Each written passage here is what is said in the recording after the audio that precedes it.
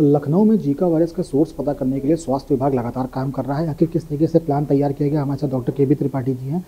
Sir, Zika virus के लखनऊ में तीन मरीज़ मिले हैं। अब इसका सोर्स पता लगाने के लिए क्या काम कर रहे हैं आप? देखिए, लखनऊ में जो जीका वायरस के जो तीन मरीज़ मिले हुए हैं, ये अलग अलग तीन क्षेत्रों से मिले हुए हैं। एक लाल कुआँ से एक मरीज़ पाया गया है, दूसरा मरीज़ हमारा एलडीए कॉलोनी आलमबाग से पाया गया है, और तीसरा हमारा जो आपका हुसैनाबाद इलाके से मरीज़ पाया गया है।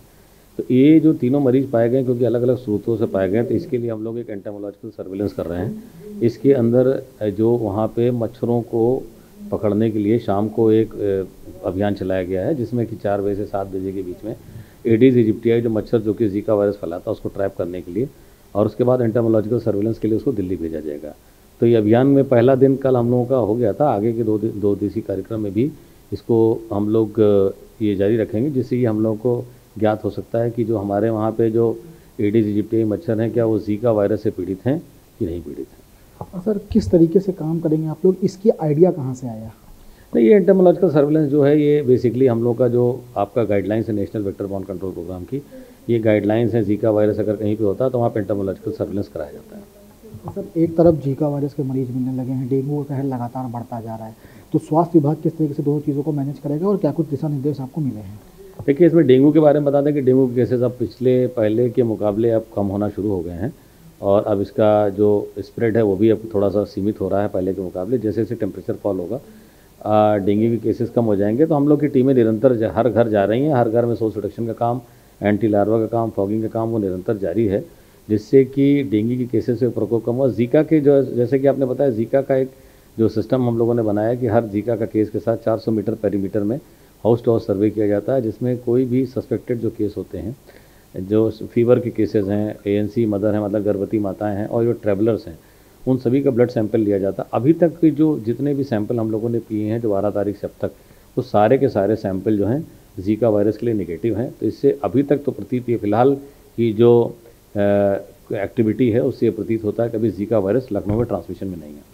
सर, कल जो सोर्स की बात कर रही है, कल 40 मच्छर लगभग पकड़े गए हैं। तो इन मच्छरों को पकड़ने के लिए किस तरीके से आप लोग पैरामीटर तैयार करते हैं? इसके लिए मैंने आपको बताया कि जो इसके लिए आप, जो शाम को, शाम का समय लिया जाता है, क्योंकि मच्छरों का सबसे खास उड़ने का समय शाम का समय होता है, और सारे मच्छरों को एक स्प्रेड बेडशीट स्प्रेड कर करके, और वहाँ पे जो भी मच्छर होते हैं, उनको मॉस्किटो किलर जो होते हैं मॉस्किटो किलिंग रेपलेंट जो होते हैं, उसके द्वारा उनको मार करके, उनको पॉली बैग्स में इकट्ठा किया जाता है। उसका डीप फ्रीजर में रख करके इनको दो दिन के अंदर हम लोग डेली ट्रांसपोर्ट कर देते हैं जहाँ पे इनका जीका वायरस के कंटेमिनेशन के लिए इनका वो जो है ऑटोप्सी की जाती है। सर आखिरी सवाल और पूछना चाहूँगा अब राजधानी वासी किस तरह से सतर्क रहे और क्या कुछ मापदंड उन लोगों को अपनाने होंगे? राजधानी में क्योंकि जीका वायरस के केस निकले हुए हैं तो इसलिए हम लोगों को जहाँ पे केसेस निकले उन केसेस को तो हम लोगों ने आइसोलेट कर दिया लेकिन हर व्यक्ति को जिसका भी जिसको अगर बुखार की शिकायत आती है आँखों में लाली है बदन दर्द की शिकायत है जकड़न है और अगर उसका उसका डेंगी का टेस्ट और अन्य टाइफाइड टेस्ट वगैरह नेगेटिव आते हैं तो उनको जीका के लिए टेस्ट कर सकते हैं। और इसके लिए डीएम साहब की अध्यक्षता में कल बैठक भी हुई थी, जिसमें कि प्राइवेट लैब्स को और सभी को, सारे प्राइवेट अस्पतालों को भी निर्देशित किया गया है कि किसी भी मरीज़ की टेस्टिंग और टेस्टिंग और ट्रीटमेंट के लिए कोई भी डिनाई नहीं करेगा।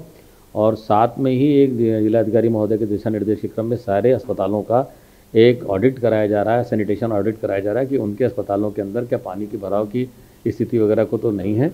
तो ये निरंतर चलने वाली प्रक्रिया है और इसके अंदर हम लोग निरंतर सतत हैं और हम लोग कार, कार्रवाई कर रहे हैं और लखनऊ के निवासियों को घबराने की कोई आवश्यकता नहीं है। सेल्फ लिमिटिंग डिसीज़ है आपका जीका वायरस बस इसलिए किसी को परेशान और पैनिक होने की आवश्यकता नहीं है। तो ये थे डॉक्टर के पी त्रिपाठी जिनका साफ़ तौर पर कहना है कि राजधानी वासियों को पैनिक होने की ज़रूरत नहीं है और स्वास्थ्य विभाग लगातार टेस्टिंग और ट्रीटमेंट की प्रक्रिया पर ध्यान दे रहा है। बाबूलाल के साथ अभिषेक मानी डेली इंसाइडर लखनऊ।